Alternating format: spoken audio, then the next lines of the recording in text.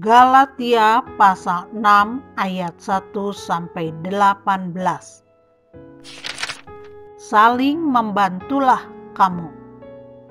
Saudara-saudara, kalaupun seorang kedapatan melakukan suatu pelanggaran, maka kamu yang rohani harus memimpin orang itu ke jalan yang benar dalam roh lemah lembut sambil menjaga dirimu sendiri supaya kamu juga jangan kena pencobaan. Bertolong-tolonganlah menanggung bebanmu. Demikianlah kamu memenuhi hukum Kristus. Sebab kalau seorang menyangka bahwa ia berarti, padahal ia sama sekali tidak berarti, ia menipu dirinya sendiri. Baiklah, tiap-tiap orang menguji pekerjaannya sendiri, maka ia boleh bermegah melihat keadaannya sendiri dan bukan melihat keadaan orang lain.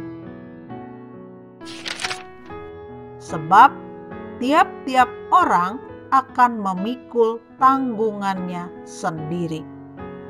Dan baiklah dia yang menerima pengajaran dalam firman membagi segala sesuatu yang ada padanya dengan orang yang memberikan pengajaran itu.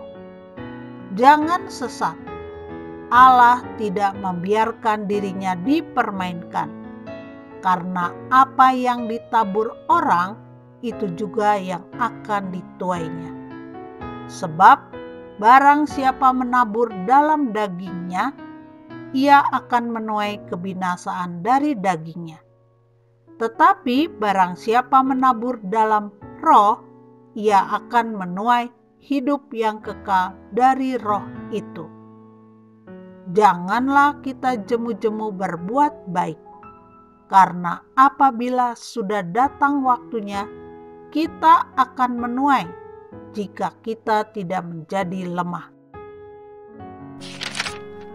Karena itu, selama masih ada kesempatan bagi kita, marilah kita berbuat baik kepada semua orang, tetapi terutama kepada kawan-kawan kita seiman. Peringatan dan salam.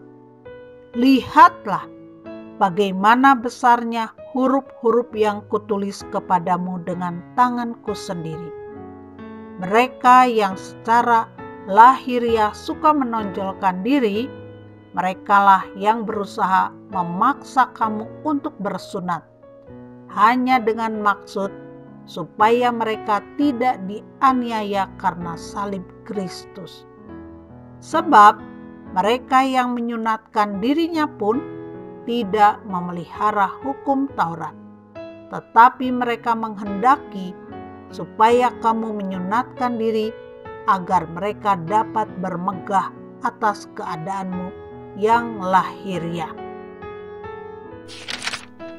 Tetapi aku sekali-kali tidak mau bermegah selain dalam salib Tuhan kita Yesus Kristus.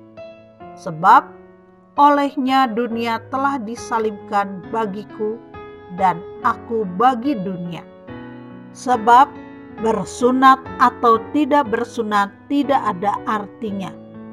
Tetapi menjadi ciptaan baru itulah yang ada artinya. Dan semua orang yang memberi dirinya dipimpin oleh patokan ini, turunlah kiranya damai sejahtera dan rahmat atas mereka dan atas Israel milik Allah.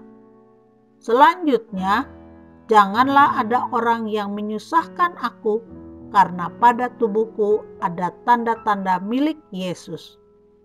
Kasih karunia Tuhan kita Yesus Kristus menyertai roh kamu, saudara-saudara. Amin.